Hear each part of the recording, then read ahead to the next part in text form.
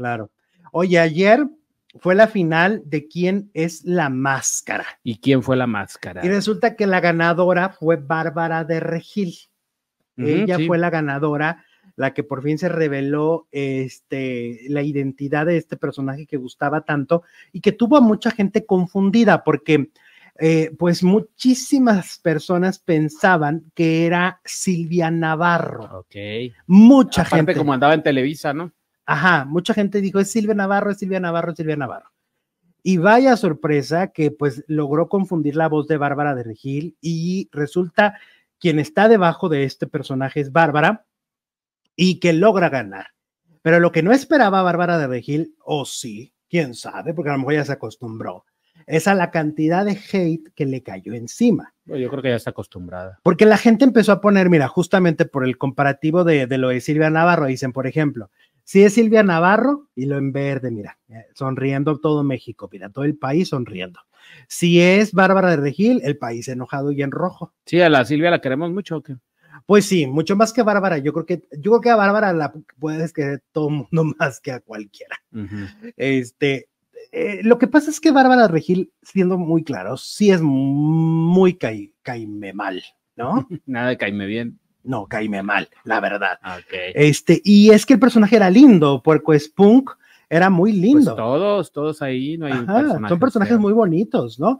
Y entonces como que nunca esperabas que debajo de un personaje tan lindo estuviera un ser como Bárbara Regil, ¿no? Que, que cae mal, que es prepotente, que, que, que es este Medio clasista, ¿no? También la han acusado de, de- de- Es que tiene todo, mira, golpeó a la mamá un día, clasista, Alguna vez habló de los morenitos, algo así. de- ajá, este, fraude con lo de la, la proteína, Fraudulenta. Sí, o sea, tiene todo. Es como Ajá. la Mayer en mujer, ¿no? En, en las redes, o sea, tiene. Bueno, no creo que a tanto. A Mayer ya se le acusa de cosas muy fuertes. Bueno, también. te sí. va a decir, va a venir a reclamarte, Bárbara, oye, ¿cómo me comparas? Pero la gente, mamona, pero no, no corrupta. y había mucho meme, mucho meme de, de, de, de la gente. Mira, por ejemplo, dice, gana Bárbara de Regil y todo México, nadie te quiere. Ay, cómo no, debe tener sus. Te lo juro, o sea, era impresionante cómo se volvió trending topic y la cantidad de rechazo colectivo que tuvo en cuestión de minutos. Era impresionante, ¿eh? impresionante lo mal que le fue en redes sociales al ganar. Es que había otros personajes muy lindos, por ejemplo, el de Kika Edgar estaba muy bonito, la verdad. Pero ¿qué la hizo ganar? Si creíamos. Ah, porque creíamos que era otro, ¿no? No, porque pues no- realmente no es por eso, es más bien, yo, yo a veces pienso que sí tiene en línea y que en una de esas sí ella pidió ganar. Si no, no estoy. Como Badir, que dijeron que se lo gan que se lo dieron porque era por contrato. Ajá. Porque, no sé, o sea, creo que esto no, yo desconfío un poco de los votos en el foro Ajá.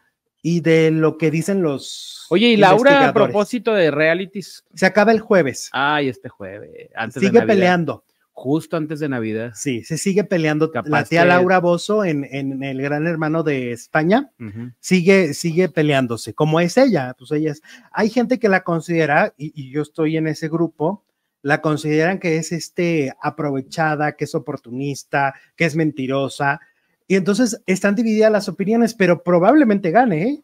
O probablemente sea el segundo lugar. Como regalo de Sancho Claus. El triunfo de Laura Bozo en el Gran Hermano de España. Ya estoy en mi terruño y muy feliz de vacaciones, dice Atenea. Muchas gracias, Atenea. ¡Dale! Saluditos. Oye, mucha gente ya está. Ay, bueno, no les hemos contado.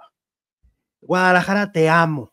Te amo, Guadalajara, pero odio tu aeropuerto.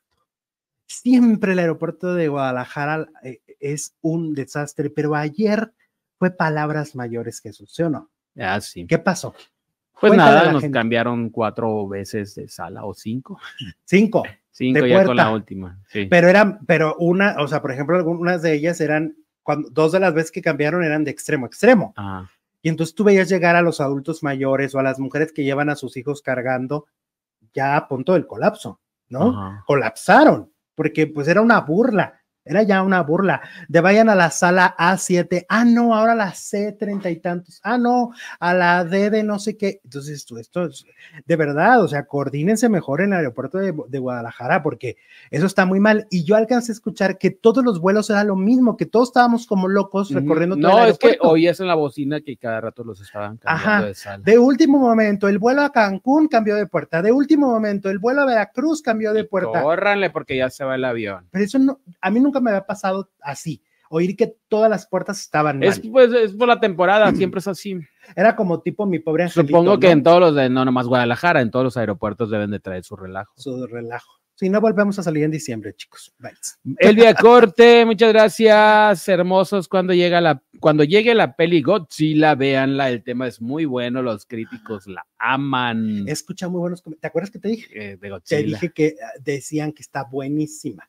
Buenísima la peli de, de Godzilla. Habrá que ir a verla, ¿cómo de que no? Claro que sí, muchas gracias por la recomendación, Elvia. Victoria Ramos Ay. también nos manda super chat, super sticker. Muchas gracias, Vicky. Saluditos. Mira el meme, mira el meme. El personaje fue lo mejorcito de la temporada, pero no supero que me gustara un personaje de Bárbara de Regil. Ok. bueno, pues a lo mejor también pidió quiero ser la más querida, Simpática. simpática y adorada. Y después,